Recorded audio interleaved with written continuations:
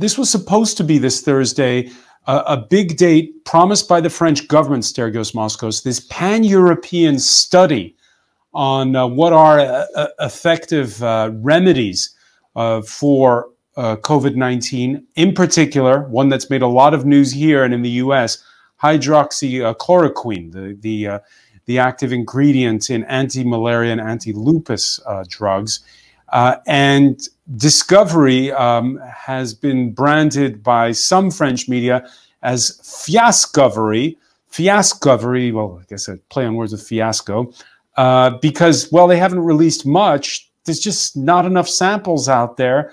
So this idea that you and I talked about last time, that we would have this, uh, that, you know, we'll, we'll, we'll gather the data from around Europe, we'll get our act together and we'll know as much as possible. It hasn't panned out? So it hasn't panned out because we haven't got enough results. And that's really, really important to understand from a, a lay perspective. I can toss a coin many times, and if I toss it three times, I'll probably get maybe two heads and one tail. But if I toss it a thousand times, then I'll probably get half of them being uh, heads and the other half being tail. On the odd time, maybe I might get one standing on its edge, but you know that's very unlikely. The same problem applies to when we're doing studies on medications. And the more complex a system we're trying to study, the more complex and larger the number of samples that we uh, need to get. Now, we've seen some data being produced by uh, groups worldwide around uh, these medications. And one thing I can tell you hand on heart is that with the uh, aged population in the United States, where hydroxychloroquine has been given as a treatment, there was an observation of a twice higher risk of death in these patients. That's a very small study. It's what they reported though, and that's the data that has come out that's well done, well studied, well uh, and openly presented. Um, we need to be patient with the discovery study. We could request that uh, the data is released openly and everybody starts to draw their own conclusions as the numbers move.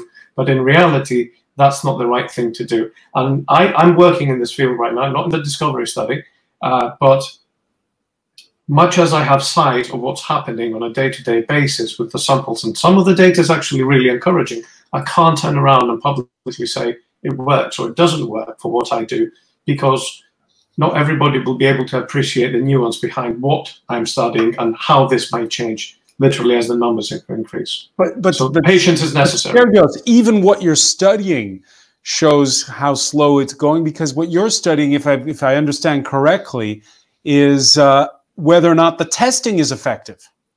That's right. So. Uh, my my study, my research is on whether or not we can replace these nasal swabs, which are sort of in the back of your nose, uh, with a, a, a, sample that's basically your breath, uh, maybe up to two minutes of breathing. And we've got good reasons to believe that there's a, a de decent enough sample in that uh, so that we could detect the virus. Uh, the problems we're encountering actually are more to do uh, with logistics and uh, bureaucracy now, and they're less to do with identifying individuals that could be tested for this. So we've got seven clinical centers in, in, Europe and the United States who have signed up to help us uh, see whether or not this is uh, something useful. When it comes to testing people who are suffering from coronavirus and they're in ICU, and their clinicians are treating them in the best possible way they see fit. Sitting down and looking dispassionately at the numbers and saying, does this person fit the criteria that we want to uh, for including a patient in the trial or not? You suddenly see that the numbers start dropping out. And although you may have 10, 20, 100, 200 people in your ICU unit, uh, maybe in your whole countries wide, the numbers that you can actually include become a lot less. So the challenge is quite high, and we must not underestimate that.